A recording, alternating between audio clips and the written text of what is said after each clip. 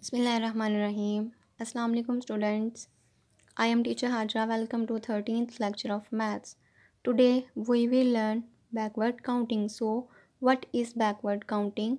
Let us see as we saw all the animals will crossing the river using all the stones. See the frog crosses on the stones 1, 2, 3, 4, 5, 6, 7, 8, 9, 10 to reach the other side of the river.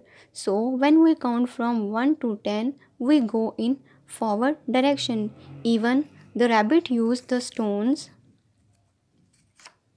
1, 2, 3, 4, 5, 6, 7, 8, 9, 10 to reach the fun zone. So the rabbit also used the forward counting. But what happened when they saw the red monster and joined in the water? They got scared. They all went back. See, this is how the hen went back.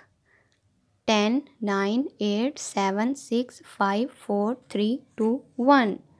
The hen saved from the monster. So while coming back, they all use the number stones in the reverse order. When we count in the reverse direction, so 10, 9, 8, 7, 6, 5, 4, 3, 2, 1. We are going backward, hence it is called backward counting. Let's start from 50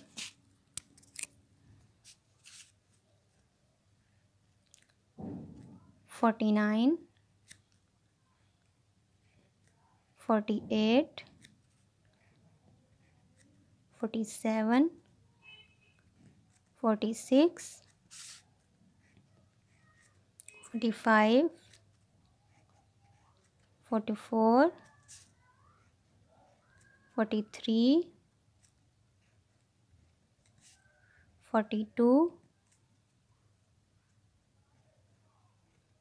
41 40 30 9 38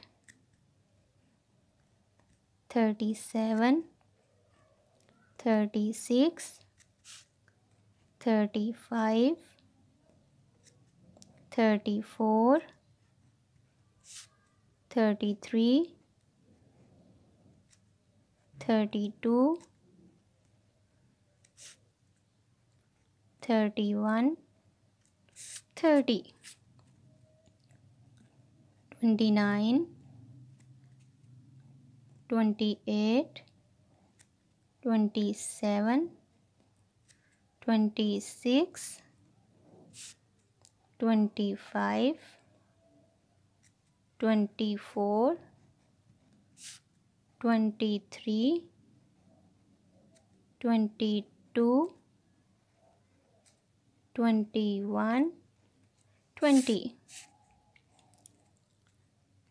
19 18 17 16 15 14 13 12 11 10 9 8 7 6 5 4 3 2 1 and 0 now open your math book page number 24